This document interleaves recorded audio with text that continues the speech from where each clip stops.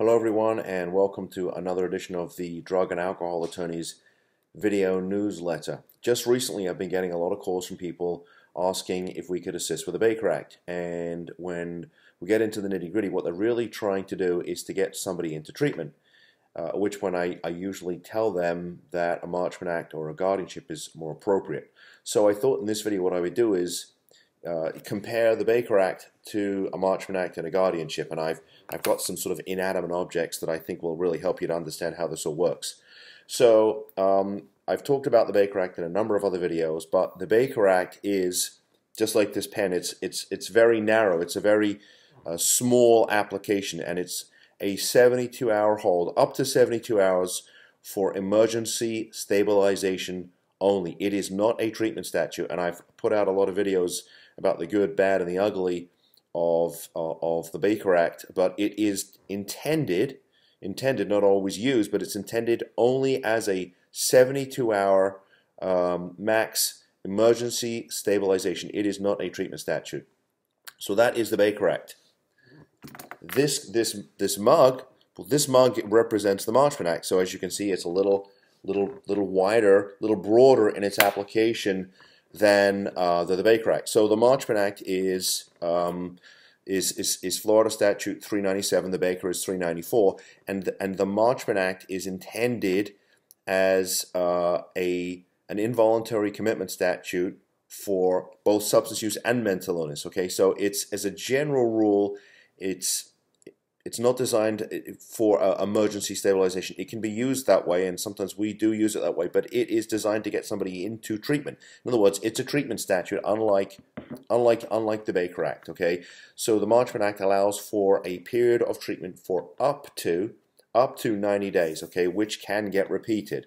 So that is a primary substance use involuntary commitment statute, treatment statute for people with substance use this bowl, this bowl over here, this is guardianship, okay? And as you can see, it's the broadest, it's the biggest of these inanimate objects that I have.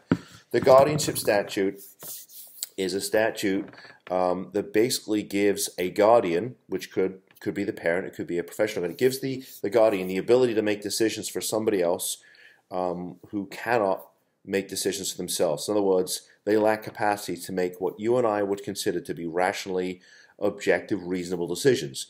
And so typically this starts off as um, an emergency temporary guardianship, which is good for up to 90 days, okay? And during that time, an examining committee, three experts, is making a determination as to whether or not the guardianship can be, you know, expanded beyond 90 days. So in theory, somebody could lack capacity for a significant period of time, okay? So if you're familiar with the Britney Spears case, her parents have had you know, the California equivalent of guardianship over her for I think 10 or 11 years now.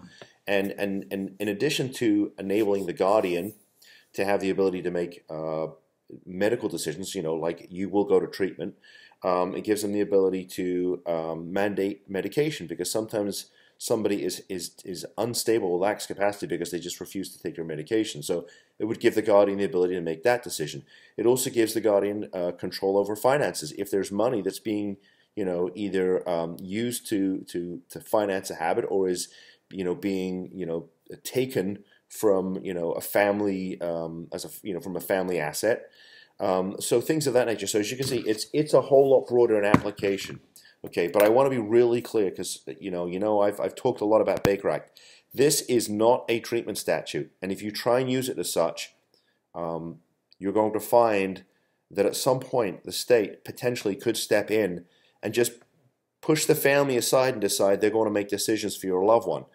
And the state typically does that when the family doesn't initiate either a Marchman Act or a guardianship, and the state just steps in and says, look, you know, uh, you've had enough time to make the decision for your loved one. You've had enough time to make, you know, to, to save them.